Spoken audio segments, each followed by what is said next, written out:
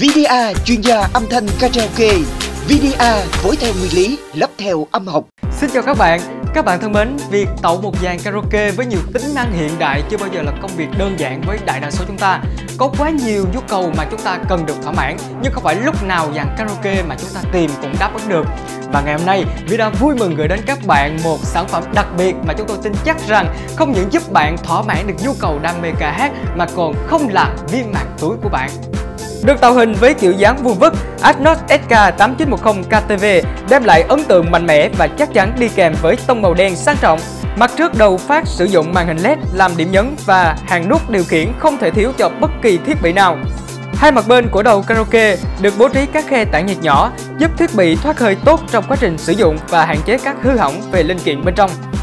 Và ở phía sau đầu phát được bố trí khay chứa ổ cứng, các cổng kết nối với âm ly và loa, cổng HDMI cho hình ảnh Full HD 1080p.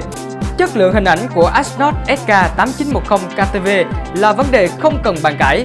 Màu sắc sinh động và tươi mới, hình ảnh chuẩn HD chân thực đảm bảo bạn sẽ hài lòng khi hát với những MV mới nhất.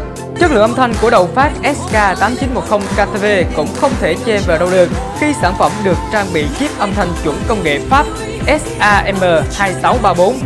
SK8910 KTV hỗ trợ hát nhạc qua smartphone với những thao tác kết nối cực kỳ dễ dàng và cho phép đến tắp thiết bị cùng một lúc kết nối vào đầu phát để chọn bài và tùy chỉnh thả ca. Hiện tại thì sản phẩm đã được bày bán trên tất cả các chi nhánh của Vida và có hai mức giá khác nhau để các bạn có thể thoải mái tham khảo và lựa chọn. Đầu karaoke Asnot SK8910 KTV kèm USB 16GB có mức giá là 3 triệu đồng. Còn đầu karaoke Asnot SK8910 KTV kèm theo ổ cứng 2TB có mức giá là 4 triệu 500 ngàn đồng.